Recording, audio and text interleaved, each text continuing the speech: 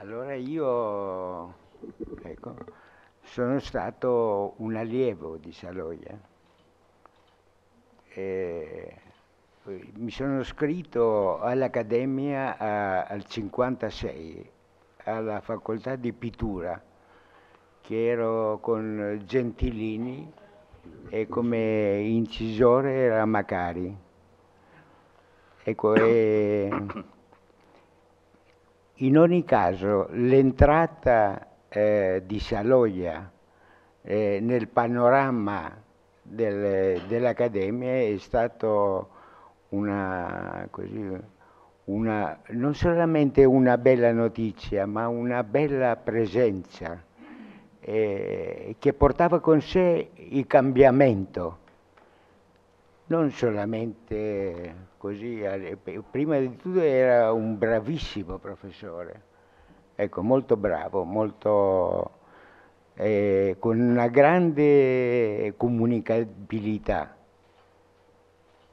E, è, è venuto poi effettivamente faceva inizialmente c'erano delle cose parallele alla scenografia, ma poi lì si faceva de, della pittura, della, senza dimenticare naturalmente che a, a 58 c'era una bellissima mostra nella Galleria d'Arte Moderna diretta da Bucarelli di Pollock che è stato oh, un taglio alla fondana, questa cosa.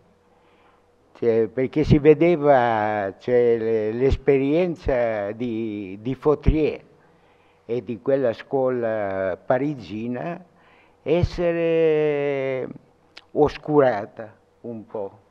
Era, era quasi una pittura da cavalletto di fronte a quell'altra pittura americana che Saloia parlava perché era andato in America è stato molto impressionato dalla, dalla, da, da, quella generazione di artisti perché non, ha visto, non aveva visto Rauschenberg e Jasper Johnson, quella prima generazione di artisti che apparteneva appunto a Pollock, era, ecco, e, e, e per questo motivo c'era un clima speciale, speciale fra quell'uomo lì sottile e, e grande insegnante a parlare di una pittura nuova e rivoluzionaria.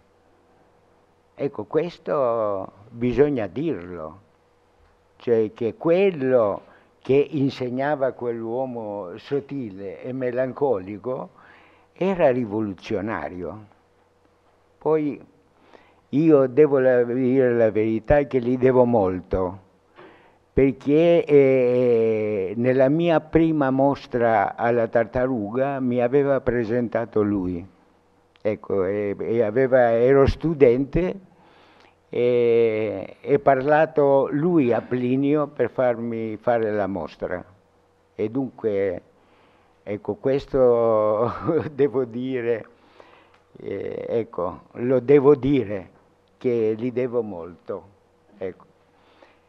E, e Saloia naturalmente non è solamente l'insegnante, ecco, ha tentato, no, forse anche con molta freschezza di arrivare a questa, a questa, a questa sua visione, perché al dunque anche quanto dice Nicolás non è una, una cosa europea, non si tratta del cubismo, si tratta della libertà, eh, mostra nella libertà nello spazio, del, della, non ha una, eh, una, prospettiva nei quadri di Saloia.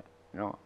c'è eh, lo spazio è come un territorio che si svolge questa azione che dura pochissimo, manca la tonalità. No? Penso molte volte quando sento Saloia vicino alla cosa di Morandi mi insospettisco perché Morandi è, è, è un tonale Morandi è uno uomo del, del cavalletto, ah, è, è melancolico anche quello, ma non ha l'aggressività di De Chirico. Dunque, penso mentre Saloia eh, aveva intuito benissimo la cosa. Forse non so se ha fatto bene di tornare in Italia e, e senza che tornassi in Italia noi che eravamo giovanissimi allora non potevamo approfittare di, di imparare eh, non solo alla pittura ma alla sottigliezza ecco, di, di comunicare la pittura. Io poi eh, ho diventato io professore, non eh, in Italia, in Germania, a Düsseldorf. E, e molte volte, ecco, no, dico, non ho mai dimenticato le lezioni di Saloia, che hanno avuto anche eh, il, il loro effetto con questi allievi di altrove, non qua, ma però sempre allievi che sottilissimi, come eravamo noi, io, Pascali più tardi che era nella scenografia e poi gli altri. Però ecco, quella cosa lì di avere, mi aveva portato alla tartaruga per fare una mostra, eh, io che avevo vent'anni, ecco mi, eh, devo dire ecco, che mi ha, mi ha inciso nella vita. Grazie.